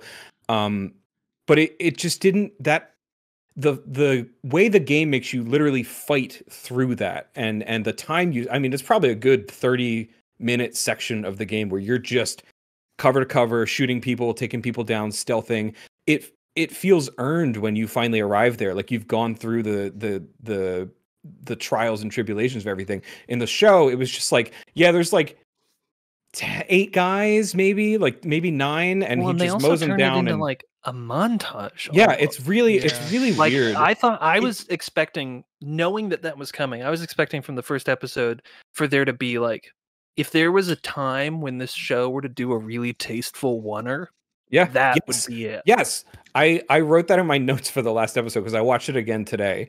Um, and just I didn't like they the really execution of it compressed at all. Yeah. and like It's- I like think- they doing like the cutaways to just like you know objects on the floor and and Yeah, yeah. having it be a lot of the sound is pretty muted Yeah. It's um, muffled. and in the And he background. has but that yeah, one scene where he picks up the pistol and he's just like, yeah, he, he's just like, all right, I got it now. Also, he I- left that guy, that guy's like M4 on the stairs. I was like, why did you take the crappy like duct taped gun when the guy's got a perfectly good M4 just sitting on the stair? I don't know. I- so- they took so- a, uh, no i'm going no uh, i was just gonna say they took a section of a video game where you don't think about a video game how many people you're killing and then Yes. put it into a show where i think they could have come up with a creative way where joel kills maybe one or two people kills obviously kills the doctor because he has to and then gets ellie and gets out with still make him a psych a bit of a psychopath but not as cold and calculated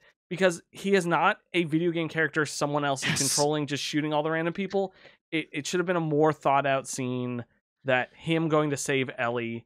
I'm okay with the stairwell fight get out of the stairwell sneak over to pediatrics kill one or two people kill the doctor get ellie.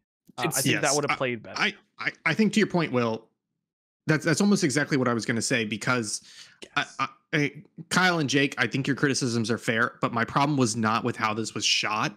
It's that the entire fucking series up to this is like every encounter with a human being, just one fucking person, infected or not, is terrifying because you don't know their intentions. You don't know you you have shitty equipment, they have shitty equipment, you're in a bad situation, and now all of a sudden uh, Joel turns into fucking Joel Wick, and he's just like, "Sure, I'll fucking clear this hospital of like heavily armed, fully automatic individuals." I would and have, that just felt completely over the top and just not realistic within the world of the show. I would have bought it more. I would have been willing to buy what they did more if they had, if they had executed it differently. Like I, I do. They. It's funny. There's the whoever put the article at the bottom of the notes right here where it says The Last of Us finale writers on uh, Joel's John Wick moment.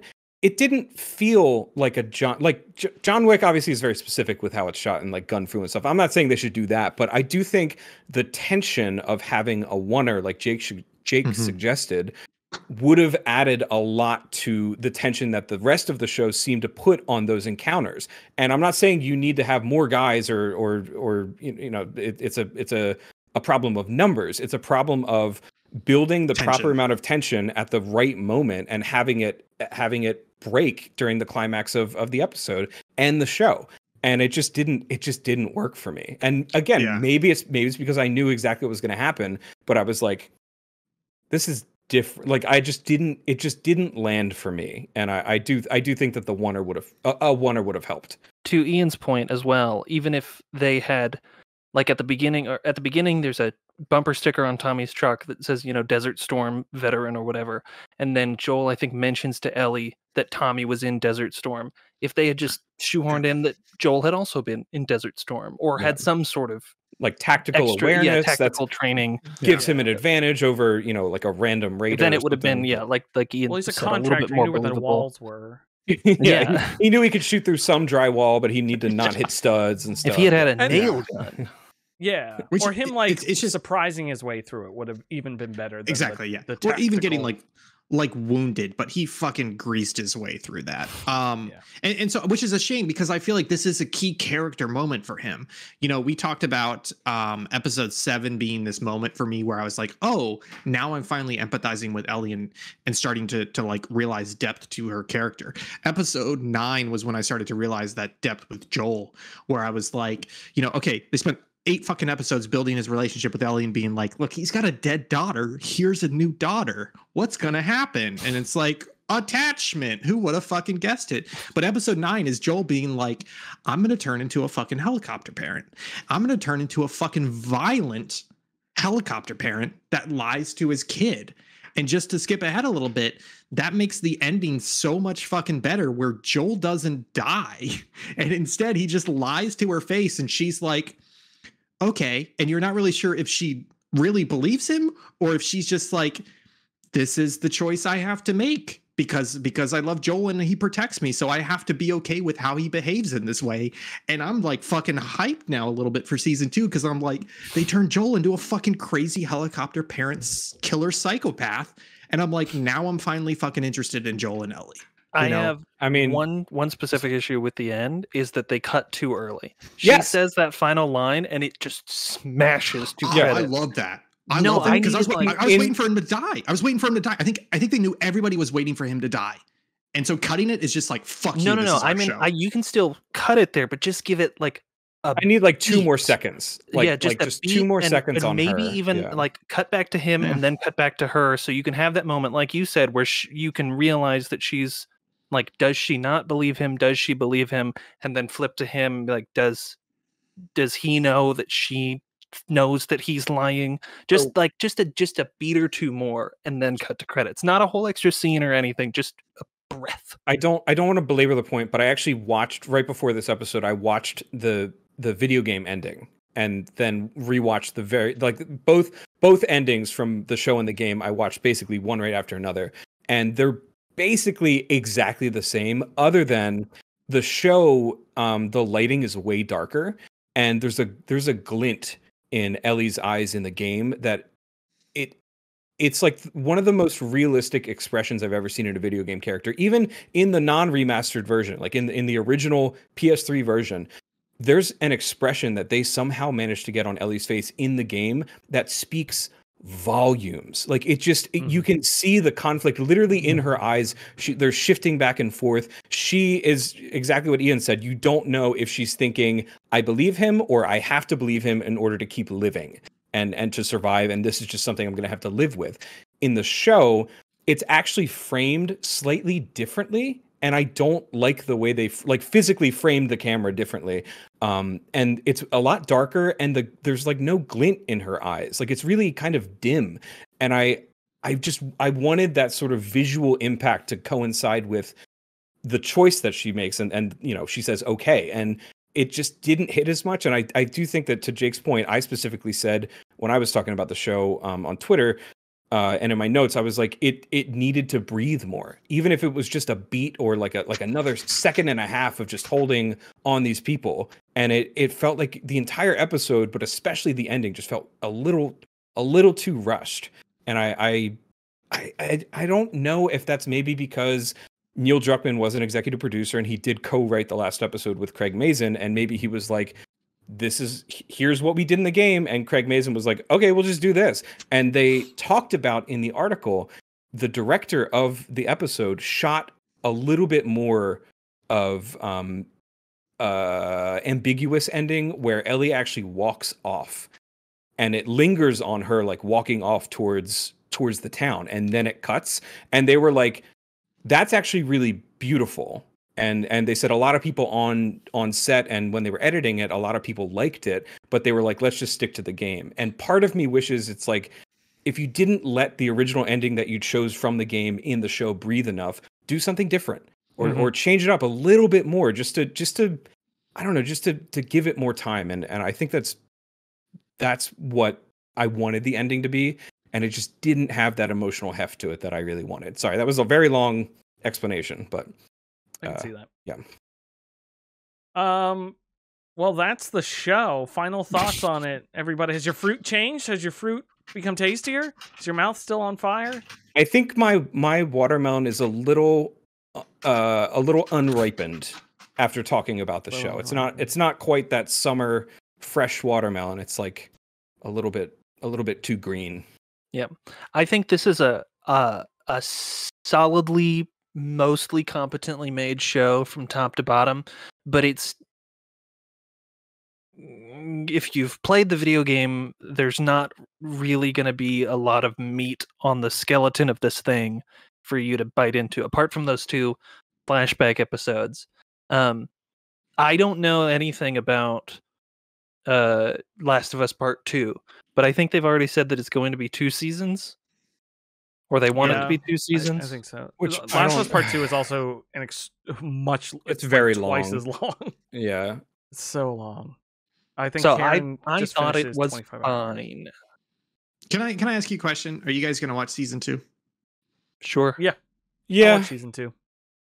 I don't know that I am because I like even even when I was enjoying that show, that is still a very. It, it's kind of the criticisms I I heard people say about Last of Us Part Two, which is like, this is very depressing, and even though it's great, it is a hard thing to watch and stomach. Because if if it works and you're emotionally invested in it then you just become horribly depressed. And that's kind of like last of us part one. It was either uh, this is mediocre and i'm not enjoying this or i am invested in this but it's also very depressing. And so i'm not sure that i want more of that quality roller coaster in season two quite frankly Oh, it's it's entirely possible that I'll get a couple episodes into season two and That's feel that exact same way because I've stopped.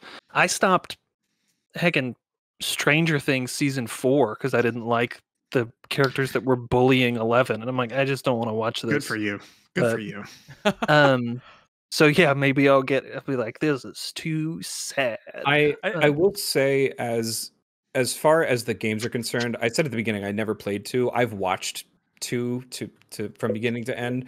Um I don't like Neil Druckmann's writing as much as I I did in the first game. Um I think it was I think the writing in the first game was offset by a lot of other creative people at Naughty Dog. Uh, one of them being uh, who was the the co-producer on The Last of Us, who left Naughty Dog. Amy um, Hennig, Not Or- Amy Hennig. Um, It's it's another another guy. I can't remember his name. Um, he I think was a, a really nice kind of foil to Neil Druckmann's writing. Um, he left the studio, so Neil Druckmann I think is solo writing credit on The Last of Us Part Two, and he really has a problem with like like depression porn where he just keeps making things Mm. darker and Yeah. darker and darker to the point where it's overwhelming how like how dour and dark and depressing and sad these people's lives get. And i get that it's the apocalypse but it's like he he fixates on that in his writing so much for for this series. Obviously there's not that much of that in like the uncharted series but um i i do think it's a problem of it's like the george lucas problem of you just have people keep saying yes to whatever it is you do and and there's yeah it, it rhymes. It's like poetry. Um it's like really sad poetry um yeah but i uh i don't. I don't think season two of The Last of Us, the TV show, it's it's gonna have the reception that the game had, which was critics really loved it, and people who aren't critics were like split more so than I think the first the first game did. And obviously there's there's a lot of political stuff that hap- that happened along that. The the game leaked a huge spoiler for the for the second part like a week before it released or two weeks before it released. Um, so there's a lot of contention with stuff like that. But I do think the TV show, if it sticks to the story that they told in the game, I don't. I I don't. I'm fully expecting there to be a drop off in viewership. I, I don't know because one of the episodes. because we just we just talked about how like solid seven season one was and that shit is pulling crazy fucking numbers across the board like Yeah. so many numbers that they're that is not just gamers that is a lot of normal fucking people loving last of us and if if they're willing to swallow that that quality and rave about it then Well, yeah, but how Uh, many seasons of Young Sheldon are there? but I, like I 10 I There's a also lot. think I also think there are people. I, again, I have I have not. I've the only person I've talked to the show about has been my dad, and I don't even know if he watched past the second episode. I know for a fact that there are people who told their parents or their friends to only watch the first season of the show, and they're like, Hmm. they're going to make a second season, but it's going to be really bad. Hmm, Don't bother. weird. And that's yeah, I, I know. And people, they're stupid, but Uh, I just want to say, like, you guys mentioned touching on the like depression stuff and all that made me realize why I think I like these games so much, which is I don't. You didn't finish the second one. Uh, you didn't finish playing the second one though. because you're depressed You said it was too depressing. No, no, no, no. I- I stopped playing it, and it, and I don't remember where I, I don't want to play 14 hours to get back to where I was. Um, I um, like because I don't experience that very often, so playing these games Feelings, emotions. puts me well, no, depression mostly, or like sadness. Um, so like putting it into that, like, I just mean I don't have like depression or anything. I so p- playing Brag. these games is a good way to like express Yeah. that feeling. All right, you out of here. humble brag Well, how, how was I supposed to say it? I'm sorry, I'm a jubilant person. Um, so like it's neat, and uh, it, it, after playing through the entire first game, uh, I'm probably gonna pick up the second game now and play through it again. Ah, fuck off. finally. Um, uh, let, so to just close out this conversation, let's talk about what we do want from season two that would make you want to watch it. And honestly, there's one thing, which is if through previews or them saying it or whatever, if they came out and they said, "Look, we're not taking anything from the games anymore." We're doing everything completely new and it's more micro stories.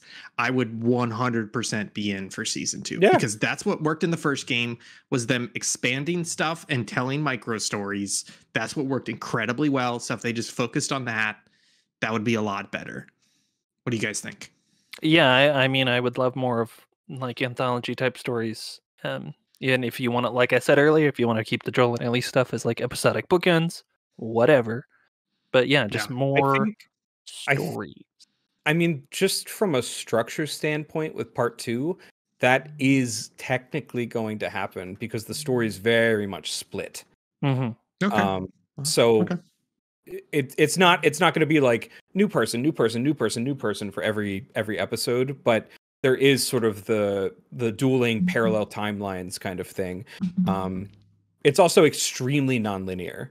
The the second game, like Mm, it jumps way more than the first game does. So um, I think that's sort of inherent in in the story. But yeah, I mean, I want I want more bottle episodes. I want more episode threes and episode uh, sevens. Even though I didn't care for episode seven that much, but I I still thought it was fresh and it was nice. But I'll I'll watch season two when it comes out and we'll we'll see what happens. But yeah, I feel like I feel like Mazin is he's he's in my head he's kind of becoming like um Zack Snyder, where it's like fantastic directing cinematography. Don't let him touch the fucking script at all. Just don't let him touch it. and with Mazin, it's like there's there are particular types of stories and story beats, etc., structures that he writes very well. But then there's others like the main fucking characters that he does not. And it's just like uh, you know, like like get him more support in the areas where he needs help, and maybe I'll come back for season I two. I also think that's you can't put all of that on Craig Mazin because Neil Druckmann is right alongside him, being like, "Hey, I'm your Bible. Like, I, Yeah. you, like listen to me because I'm an executive producer on the show and I Burn created the, Bible. game." And I think he co-wrote the first episode and as well as the last episode. yeah. Ugh. So But I've the heard- problem then. I have That's what it sounds heard like. through the grapevine that the Borderlands script is really good. With Cate Blanchett. Through the grapevine. yeah, the Eli Roth Borderlands I don't know. movie that Craig mean, Mazin that- We're finally gonna have a good D and D movie in a couple weeks. So I'm excited. Who knows? You know, Who I've heard from four people now that that movie is incredible. So Yeah. It's the same guys who Uh, did game night, so I'm down. Yeah, I've got tickets on Sunday. I'm seeing it early, That's so awesome. I'm ready. Oh, see it. Um, folks, gentlemen, thank you so much for being here. That was fun. It was fun Yeah, to talk about good. a show and not yell at each other. Uh, and it, it was fu- it's fun to get sad sometimes. I learned. Um, I'm gonna hit this outro button. See if I'm just kidding. You fuckers. Fucking elitist. Um, folks, thanks so much for tuning in. Uh, I don't get depressed. Subpixel. I, I don't mean it like that. I just mean I don't deal with. question? What's wrong? What are tears? Never I don't- experienced that. No, I experience emotion. Jesus Christ. It's not the bad Also, I did look it up. The name of the episode is "Please Hold to My Hand" I- on I look that That's so super weird. you. It is. I don't know what that means. I wonder if Folks, that's you from can find all of our content on subpixelfilms.com. Um, go check that out. Uh, Jake, Kyle, Ian joining me this week, episode 113. I hope everyone enjoyed it. We went a little bit long, but we'll see you all next week. Um, yeah, about it. Anything else anyone wants to say? No, Uh, see you Bambi's on on, Saturday. screen. We got the Yeti. We'll see you on Saturday. Bye, everyone. Bye.